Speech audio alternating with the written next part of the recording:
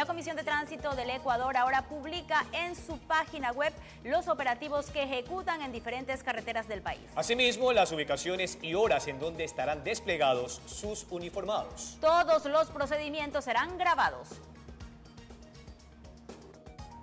Desde esta semana se aplica la nueva forma de trabajar con los agentes de la Comisión de Tránsito del Ecuador. Cada uno de los controles que ejecutarán en las vías del país serán planificados y no sorpresivos.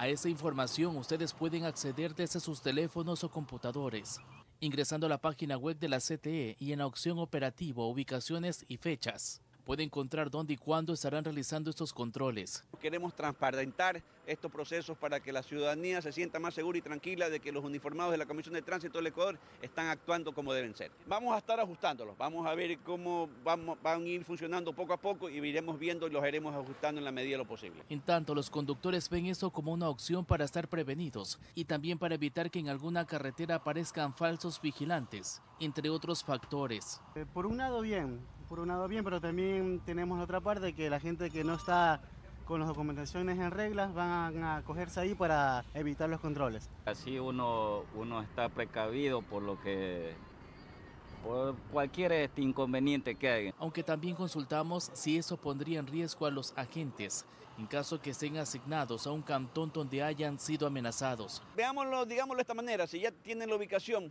un GDO no va a pasar por ahí en ese momento. Entonces, por ese lado vamos a ver cómo va a ir ajustando ese procedimiento. Así estos datos están a la disposición de los ciudadanos.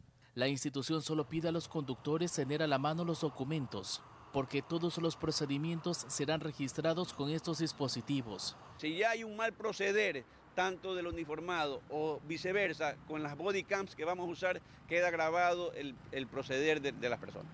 Informó